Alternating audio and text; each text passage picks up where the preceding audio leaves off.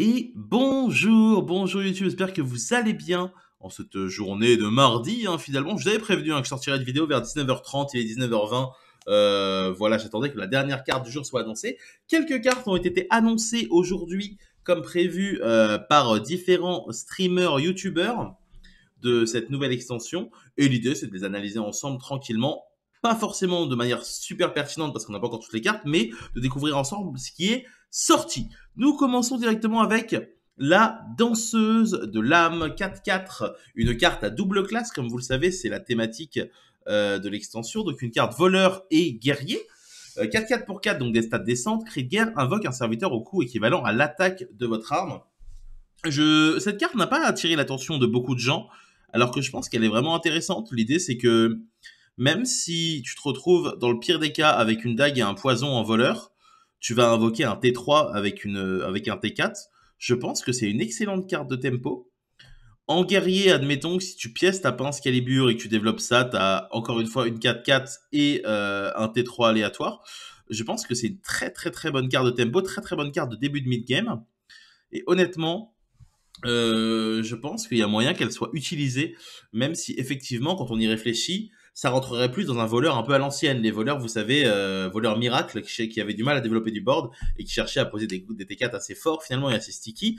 Et du coup, euh, actuellement en voleur, je sais pas trop dans quel voleur ça rentrerait. Par contre, en guerrier, euh, même si le guerrier œuf, comme vous le savez, prédomine et surdomine, c'est quand même une carte assez intéressante. Donc à minima, ce sera une bonne carte. Est-ce que cette carte sera suffisamment forte euh, pour être jouée? Ça, par contre, je n'ai pas forcément euh, les réponses. Alors, en combo fun, évidemment, si vous la combinez avec une hurle-sang, bah, ça vous fait un T7, mais c'est quand même un peu lent. Et je suis pas convaincu que ce soit le, le, but. Est-ce que peut-être on peut, on peut envisager d'exploiter la carte avec une arme qui va être vraiment buffée, buffée, buffée? Je sais pas, j'ai un peu du mal avec tout ça. Hormis euh, Green Skin et les améliorations, il n'y a pas grand chose finalement qui va permettre de buffer les armes de manière abusée. Et typiquement, je pense que ce sera pas possible d'avoir une arme euh, à 8 d'attaque, quoi. Donc globalement, voilà, moi je pense que c'est une carte en tempo qui se joue en début de mid-game et qui sera quand même euh, potentiellement très très intéressante. Donc n'hésitez pas, mesdames et messieurs, si vous voulez l'essayer.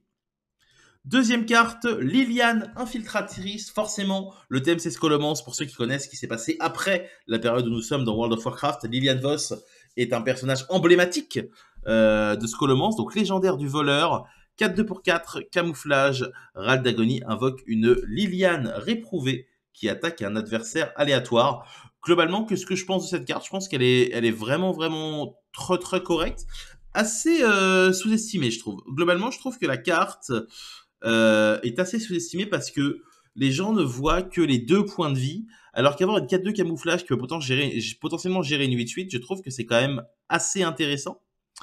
Donc euh, voilà, je, pense globalement que cette carte est loin, loin, vraiment très, très, très, très loin d'être mauvaise. Et pas mal de gens euh, la sous-estiment, alors que finalement, c'est quand même une très, très bonne carte. Et je pense qu'elle sera jouée. Je pense honnêtement qu'elle sera jouée. Euh, le fait de pouvoir poser une camouflage pour faire ses buffs de Galacron ou faire ses, attaques sera joué. Beaucoup de gens la comparent à Ankama. Ankama qui n'est pas joué. Mais là, le Ral d'Agonie qui fait que vous allez pouvoir gérer deux créatures en une attaque ou potentiellement en mettre 4 dégâts face malheureusement. Ça, c'est le petit côté aléatoire de la carte. Je pense qu'elle est très très intéressante et euh, qu'il ne faudra pas passer à côté, à voir le support qu'il y a autour. Nous avons ensuite euh, une AOE en DH. Le cycle de haine inflige 3 points de dégâts à tous les serviteurs, invoque un esprit de 3-3 pour chaque serviteur tué. Euh, une AOE pour le DH qui coûte un peu cher, elle coûte 7 et elle inflige que 3, donc c'est un peu moins bien qu'un Flame Strike en termes de dégâts infligés. Ça nous rappelle un peu le massacreur abyssal du démoniste qui, je pense, était très très très intéressant.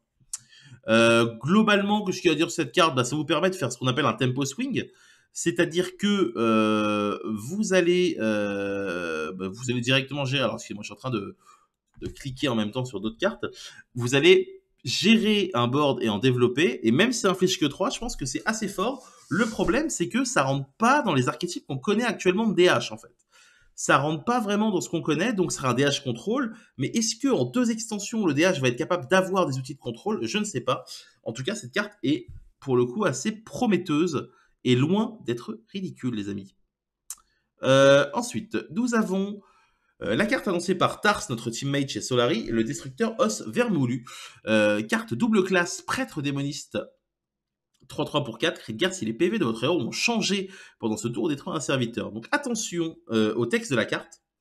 Si les PV de votre héros ont changé, ça ne veut pas dire qu'il a pris des dégâts. Ça veut dire qu'en prêtre, typiquement, vous allez plutôt tendance à avoir tendance à vous soigner. Et par exemple, pour 5 de mana, vous allez faire rénovation, vous soignez, les vos points de vie ont changé, et là, paf Vous posez cette carte, qui au final va nous faire penser vraiment à la Villepine de l'époque, la 3-4 du voleur. Et donc en prêtre, je pense que c'est extrêmement fort. En démoniste, ça coûte un peu plus cher parce que du coup, tu dois Hero Power et l'invoquer, donc ça coûte théoriquement 6, même si, euh, par exemple, tu peux faire plus de feu et ça, euh, pour 5. Euh, je vois un gros potentiel dans cette carte, surtout en prêtre. L'effet de détruire un serviteur qu'on peut cibler a toujours été un très très bon effet dans le jeu. Donc je pense que c'est une carte très intéressante qui sera sans doute jouée.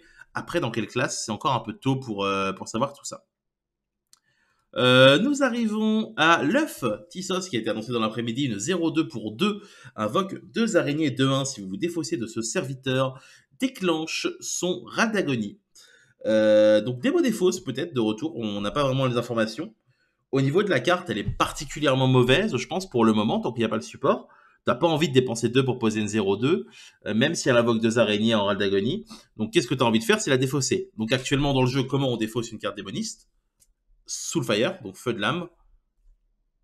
C'est tout. c'est tout. Il n'y a plus de Doomguard. Doomguard qui était un peu euh, l'essence finalement de tout ça. Malheureusement, il n'est euh, plus là. Et du coup, euh, je crois pas trop à la carte. Je crois pas trop à la carte. J'attends de voir. J'attends de voir si du support pour qu'un démoniste défausse existe. Mais c'est typiquement le genre de carte qui se glisse dans une extension et qui va former un archétype en deux extensions, si vous voulez. Donc là, je les vois bien nous mettre la base du démo des fausses, qui sera nul et potentiellement fort après l'extension d'après. Donc on verra. Et dernière carte annoncée aujourd'hui, Gangling, le disciplinaire. Je vous ai gardé quand même une petite bombe pour finir. Tour 4, 3-6, donc les mêmes stats qu'un élémentaire d'eau ou qu'un maître chien chaud. Euh, carte légendaire, démoniste et prêtre. Après que vous ayez joué un serviteur, le détruit et invoque un étudiant raté 4-4.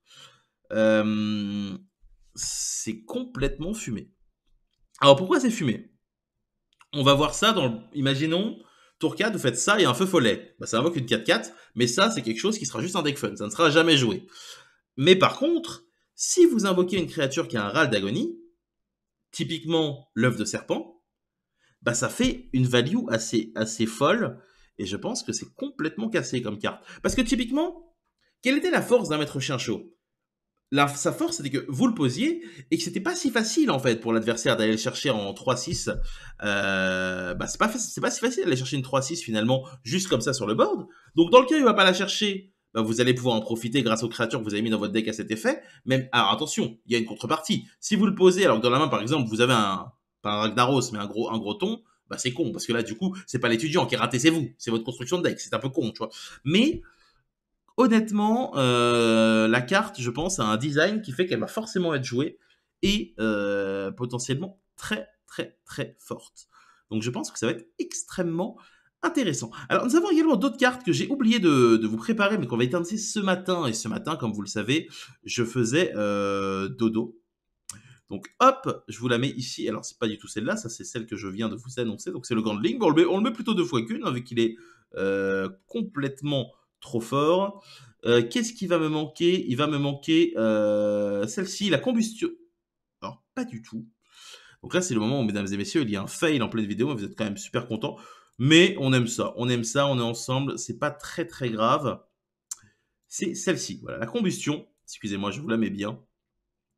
La, carte, hein. Donc Combustion, sort du mage épique. Combustion, pour ceux qui jouent à WoW, c'est le sort le plus fort actuellement de World of Warcraft. Certains disent même la combust tellement ça fait de dégâts. Inflige 4 points de dégâts à un serviteur et tout le surplus aux cartes adjacentes. Donc en gros, ça vous permet sur le T3, si l'adversaire n'a pas une créature qui a 4 PV, de mettre des dégâts peut-être sur les petits tokens et autres. Ça peut être anti-aggro. Je pense que c'est pas très fort, honnêtement.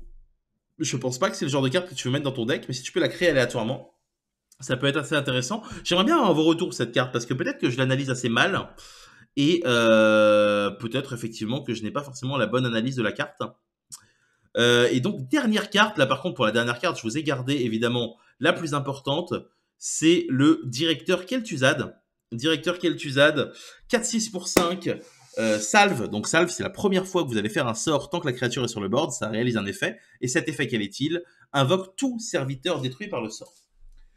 Ça, je pense que c'est complètement pété. Je pense que c'est complètement pété. Je vais vous faire une vidéo qui sort demain, mesdames et messieurs, à 10h pour vous expliquer pourquoi c'est complètement pété.